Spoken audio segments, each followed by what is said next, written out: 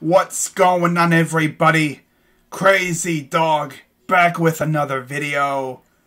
And I've got some huge Browns free agency news for you.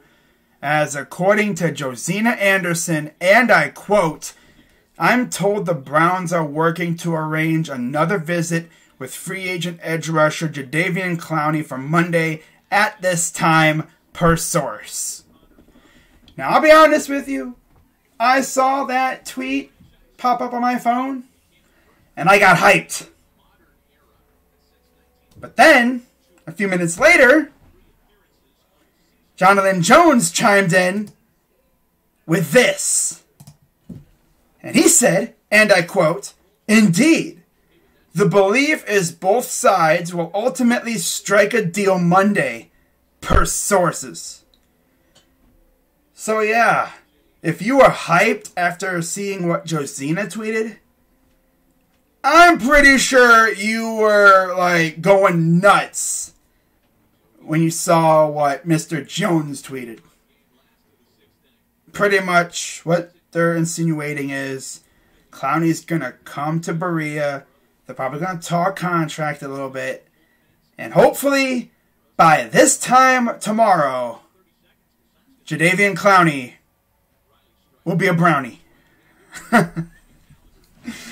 yeah, um, for real though, man, if we really do add Jadeveon Clowney to this defensive line, in fact, I even tweeted about this. Uh, this defensive line would be nasty AF because your starting front four would be Myles Garrett, Sheldon Richardson, Andrew Billings, and either Clowney or McKinley. You can kind of interchange them, doesn't really matter. And then the number two pass rushers behind them, the second stringers, would be Curtis Weaver, Jordan Elliott, Malik Jackson, and then the other one between Clowney and McKinley.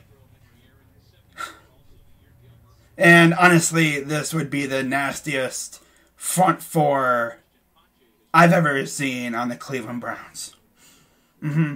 Now, of course, in the tweet, I also added a rookie. You know, I mean, we could always draft one like second, maybe third round. But if we do go out and sign Jadeveon Clowney, that means you could pretty much eliminate us taking a pass rusher at 26, which I'm perfectly fine with. I mean, if Jaycee Horn is there, take him. If Samuel Jr. is there, take him. You know, if you want to take Greg Newsome, take him. I'd be perfectly fine with that. If you want to go linebacker like JOK, huh, do it. I mean, JOK is my draft crush, so I would love that. but, uh, man, I wouldn't really be mad with whatever we did, especially if it's a defensive player. If it's an offensive player, like if it's a receiver, I'd be like, oh, wow. I'd be kind of shocked, but I wouldn't really be mad. Unless it's something that we really don't need. You know, but ultimately, you're not really going to see me rage no matter who we take at 26 unless it's something just completely out of nowhere. I mean, I don't think Andrew Berry would do that, you know. He's not stupid. He's not Howie Roseman.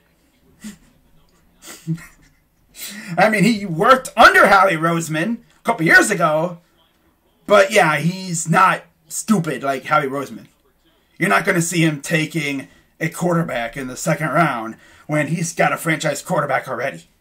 you know, he's not going to do that. At least I hope not. For real.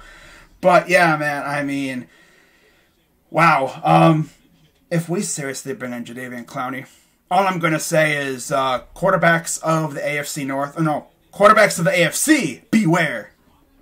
I could even say quarterbacks of the NFL, beware. Because I'll tell you one thing if you thought it was tough dealing with Myles Garrett alone, Huh. Good luck dealing with Takk and Jadeveon, a healthy Curtis Weaver. Maybe we bring in a guy, like I said, a rookie, second or third round, something like that. I mean, if we go second round, I would not. That would not. I wouldn't be mad with Oweh there, or Ossai or whatever was it from Texas. I wouldn't be mad with him there. You know, but um, it'll be interesting to see what we do.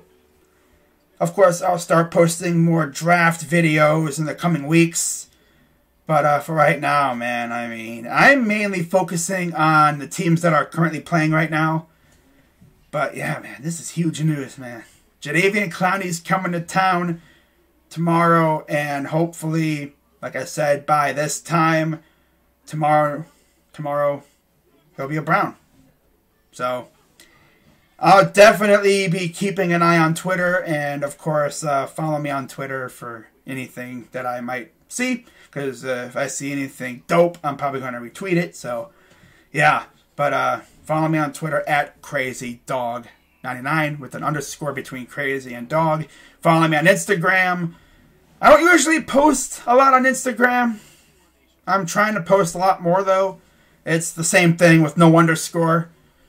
You know, um, yeah, pretty much.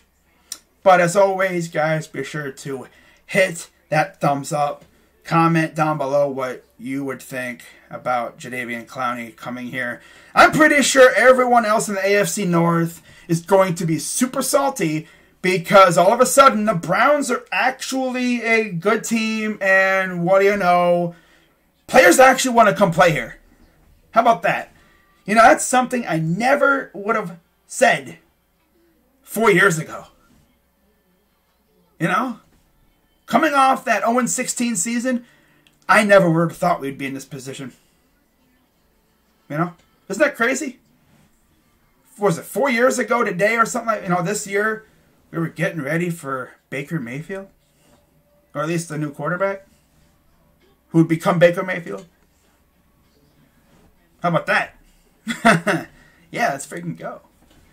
But yeah, guys, uh, Jadeveon Clowney's coming to Berea tomorrow for a visit or at least you know it's looking like that's going to happen.